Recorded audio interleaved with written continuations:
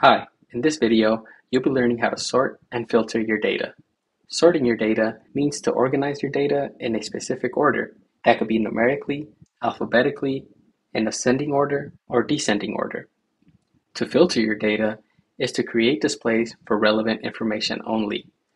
Slicing is another way to filter content. The benefit of adding a slicer is that it creates a nice button for you to filter with. Let's now take a look at an example. We'll be using the small dataset of five cars.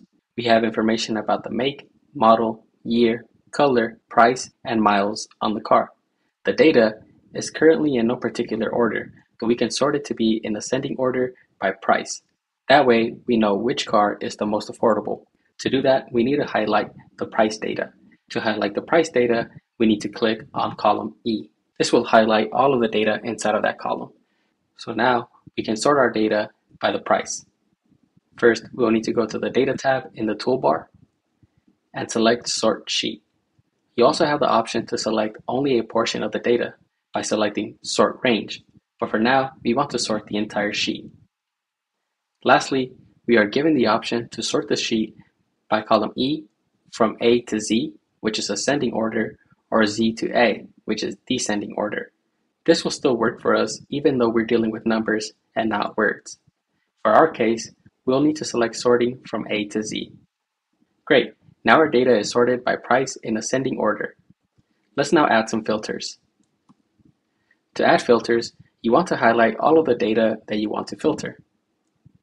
Next, go to Data again, and this time select Create a Filter.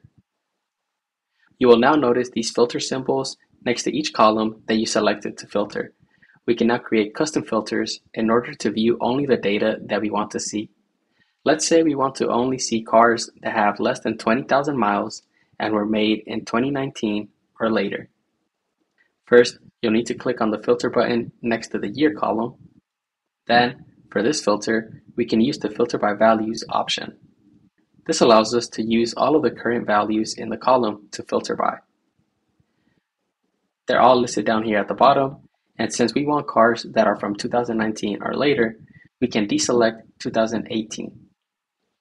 Our data now only includes cars from 2019 and up. Lastly, let's create a filter for the mileage. This time, we'll click on the miles filter, and then we'll select filter by condition.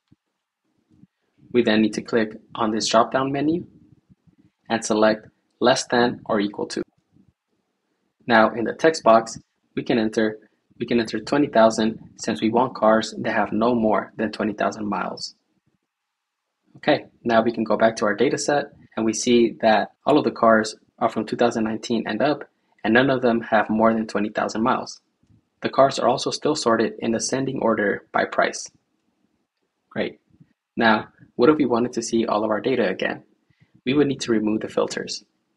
To do that, you can just go to the data again and then select remove filter. Now all of the cars pop back up.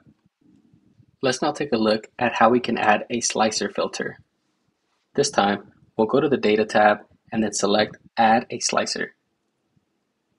Next, we need to select the column we wish to slice. For our slicer, we'll choose Color. This now gives us a button that we can use to filter our data based on color. By default, all of the colors are being shown, and none are being filtered out yet. That is why we see all towards the right of our slicer. By selecting all, it will expand all of the different values we can filter by. Let's say we want to filter out the white cars. We want to make sure we select filter by values and then we can deselect white. Now, if we go back to our data set, it no longer has any white cars. Now, to remove a slicer, you need to click on the three dots and then select Delete Slicer from the pop-up menu. Our data is now fully on display again. It's important to remember that filtering and sorting does not delete any data, so don't be afraid to experiment. Now it's your turn to practice sorting your data and adding filters.